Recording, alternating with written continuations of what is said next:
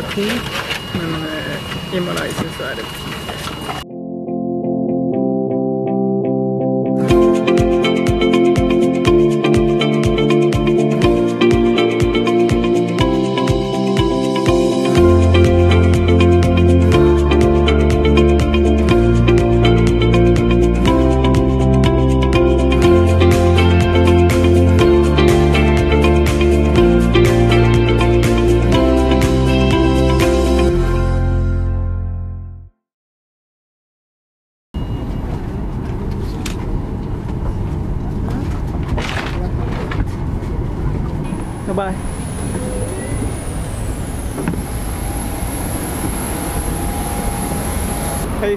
I luften.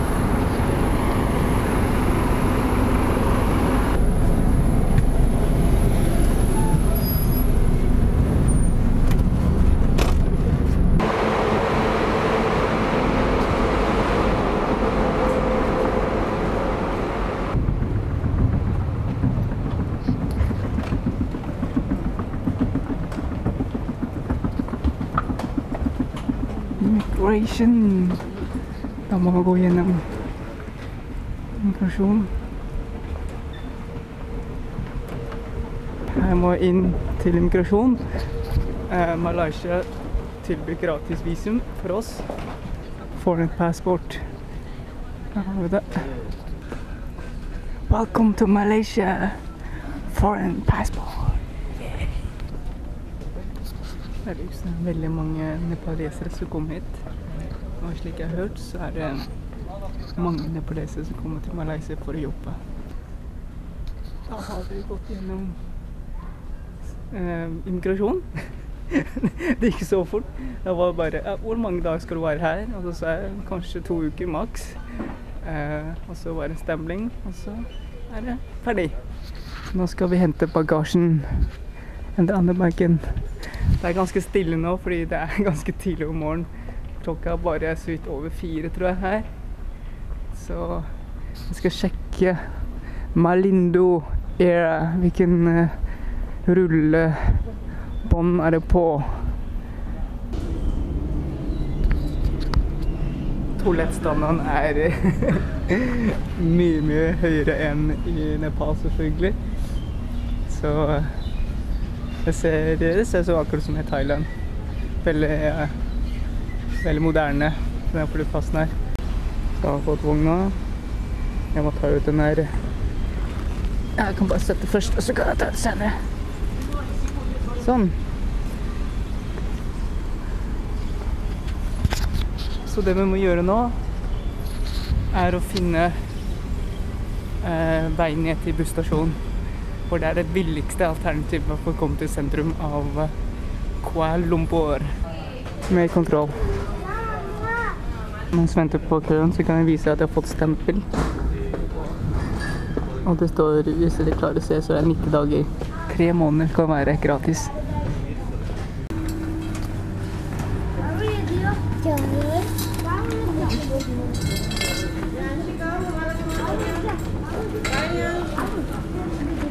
Yay! Jeg er i Malaysia for første gang. Oho! Så bra. OK. La oss finne La oss finne bussen. Yay. OK.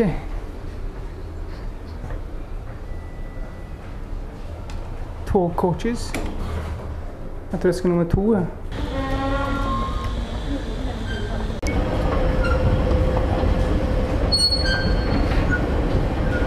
Ok, nå på vei ned. En kjempeviktig det, eh, viktig, viktig detalj. Jeg har ikke noe penger. jeg har ikke noe eh, RM, så nå må jeg prøve å finne et sted å ta ut penger. Ellers så får jeg ikke bestilt noe billett. Her har vi buss for ticket. Jeg går opp igjen. Jeg trodde det var en minibank her nede, men eh, det hadde ikke noen minibank her nede. Simbank. Jeg ser som det er det folk bruker her. Ja, la oss ta det. Yay, da har jeg fått penger. Jeg tok ut 1500 RM, som tilsvarer da 3000 norske kroner. Wow. Det er kanskje litt mye penger. jeg glemte helt at, eh, at det er to ganger mer enn norske kroner. Hvorfor tok jeg så mye penger? Jeg skulle bare ta ut 500, og så blir jeg 1500. Oh well. Jeg kan altså sikkert uh, switche til, uh, til uh, Singapore dollar etter hvert. Kom inn. Direct KL Central TRM. Excuse me? Uh, to KL.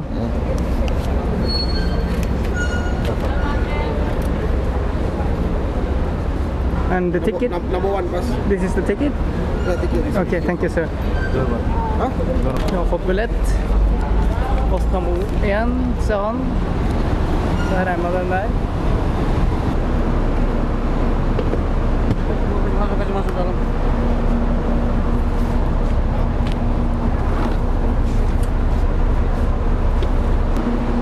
Veldig behjelpelig.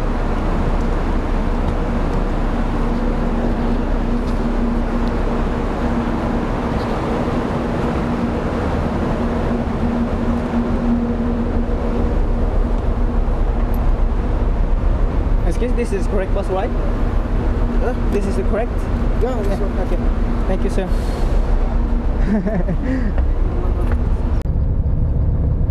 Airport coach. TRM, som dere kan se.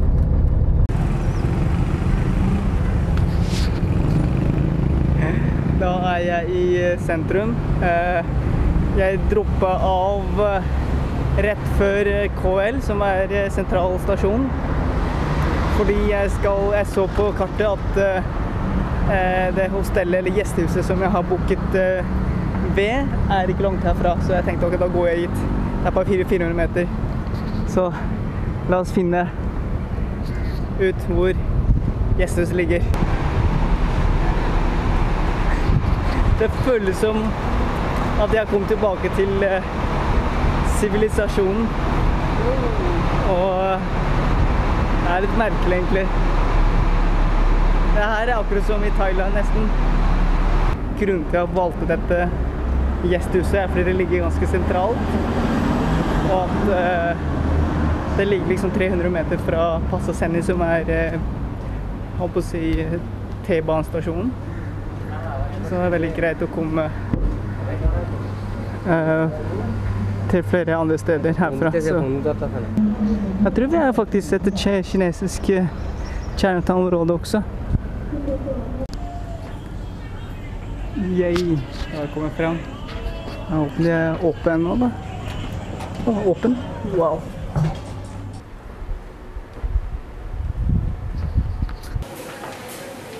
Norge Guesthouse. Da har jeg fått sjekket eh, Jeg har ikke fått sjekke inn. Jeg har fått lagt fra meg bagasjen Eh, i, eh, gjestehuset. Det ligner på et hostell, men de kaller det for gjestehus.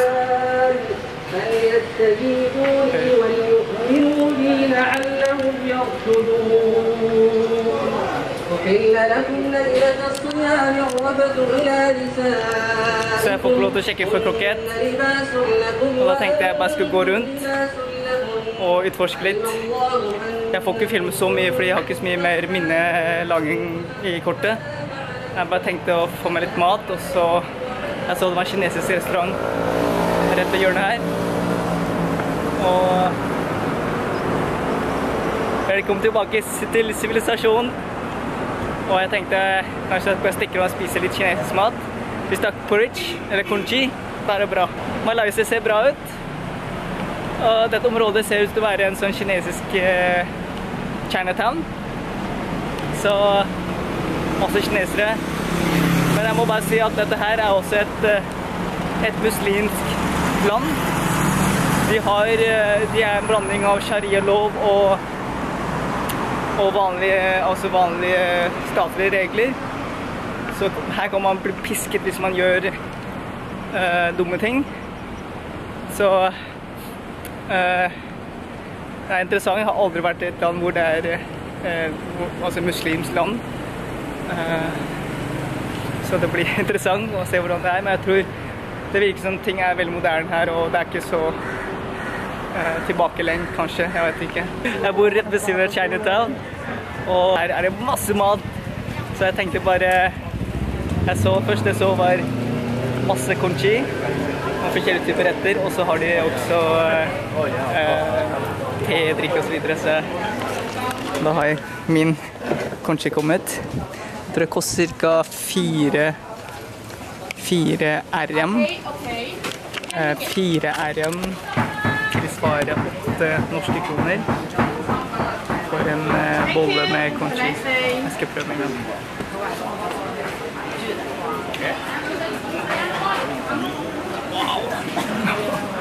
Det er bra start på morgenen. Så har jeg sånn slags, eh, te.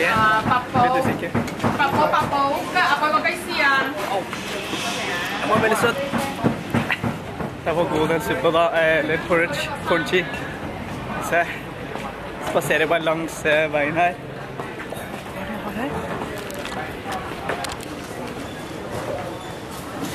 Og det er Nei, det er bare snacks.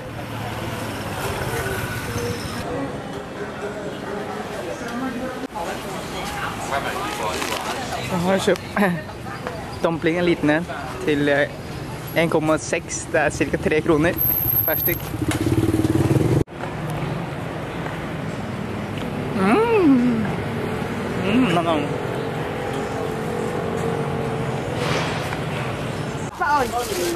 Okay, thank you, sir. Papaya.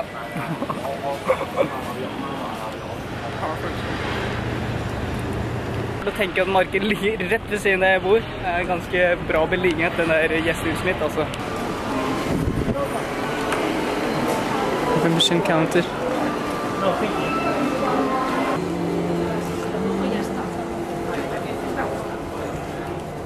Her er masse antikk og samleobjekter.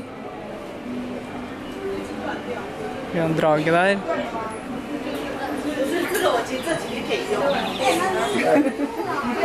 Nå skal vi gå til andre etasje, og så skal vi se på um, eh, Vise dere litt i forhold til matsalen, som jeg syns er veldig interessant. Central Mark Food Court. La oss sjekke hva de har. Her har vi liksom standesuppe, som jeg har veldig lyst på. Mi sup Special. Og prisen er ikke så veldig gæren heller. Det ligger fra 6,50. Husk at 6,50 er da tilsvarer da 13 kroner. Og 13 kroner er da litt, eh, litt over 40 baht, ikke sant? Eller 30 000-40 000 dong. Så det er ganske grei pris, altså.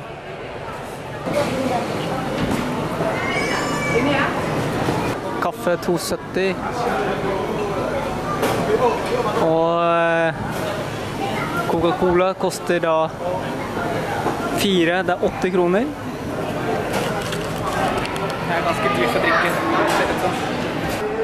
Og her har min favorittrett, som er kylling med ris. Som jeg har veldig lyst til å prøve.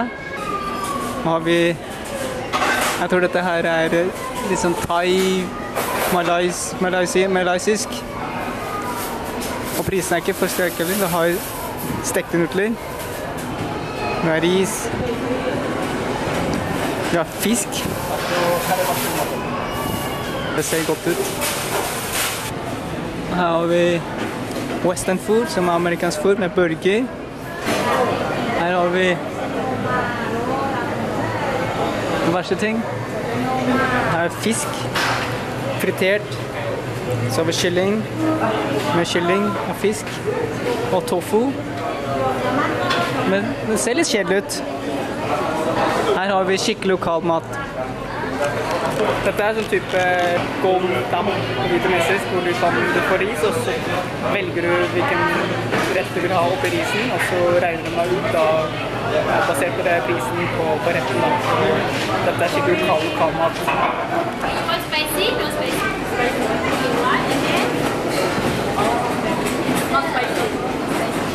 Curry laksa. Okay, you want spicy? Sama? Rice? Nå har har fått ris, så nå gjelder det å putte ting oppe her. Oi, oi, oi. Så dette her kom på 15 eh, ringet. 15-30 kroner. Så da fikk jeg fisk, tørret fisk litt kjøtt og reke og litt salat. Så det er litt dyrt egentlig, men eh, dette her er skikkelig malaysisk mat. Så la oss prøve denne curry. Curry med biff.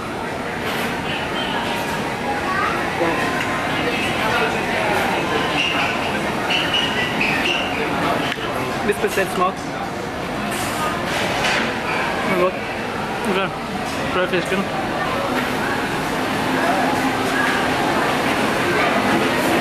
Fisk. Jeg vet ikke hva slags fisk det er. Mm.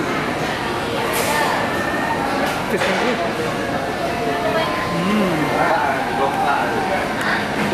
Det, kjennes veldig fisk ut. Mm. Og så er det små reker.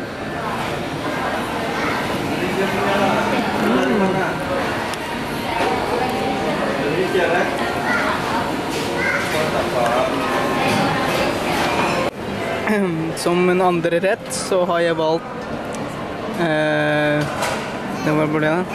Den der misop anjam som er kylling. Kylling oh, wow. Misop anjam Chicken noodle soup. Wow. Litt sånn, jeg tror det er litt sånn Jeg lik.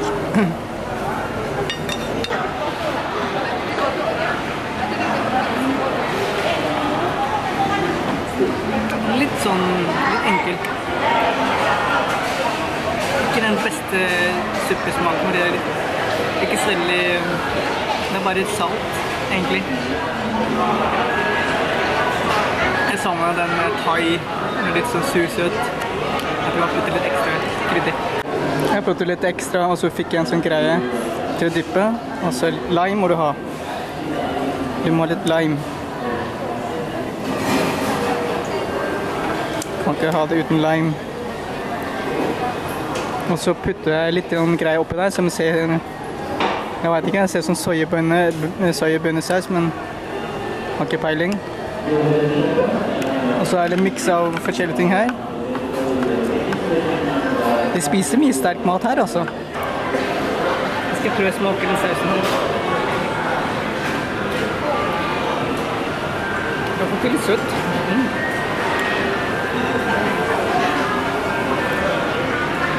Det ble mye bedre nå.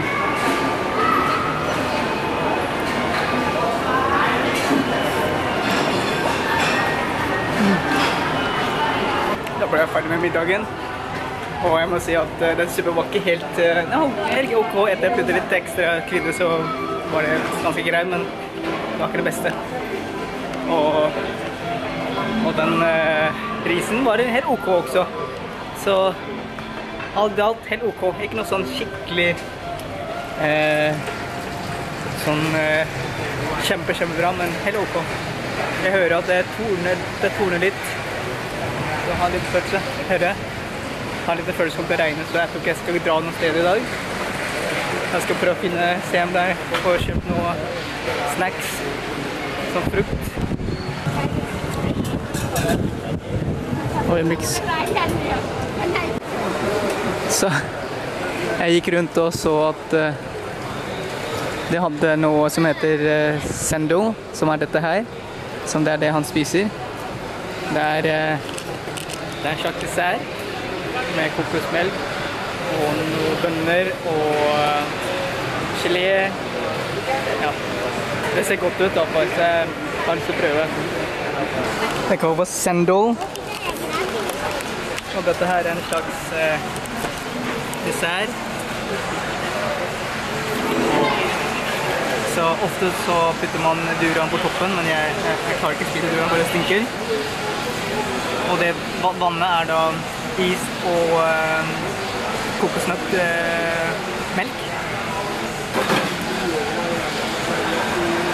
Mm. Det er ikke så veldig søtt. Men det er veldig mye melkesmak fra kokosnøtt.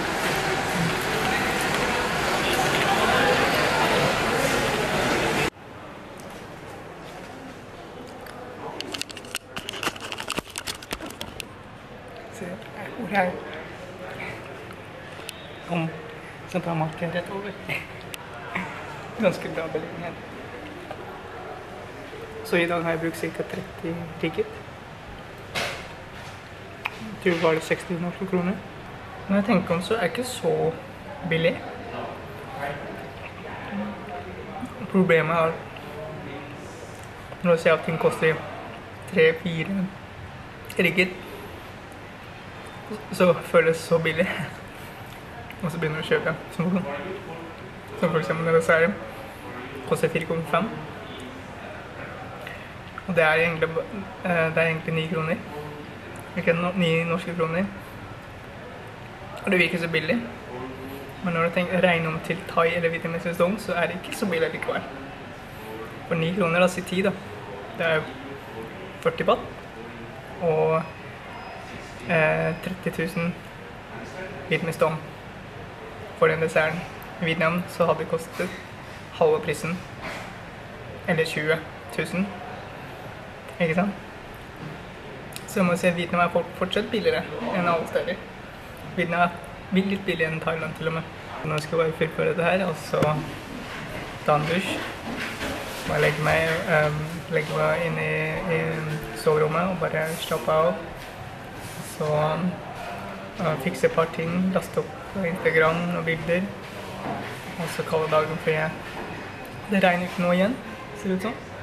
Og jeg har ikke lyst til å gå i regnet. Så i morgen så er det fin vær, så Opsi. Så i morgen prøve å våkne tidlig. Prøve å gå en tur, gå tur til en sentrumsområdene hvor du har masse butikker, masse en svær park som DK LCC Park heter den. Så i morgen blir det mer utforskningsdag. Sånn.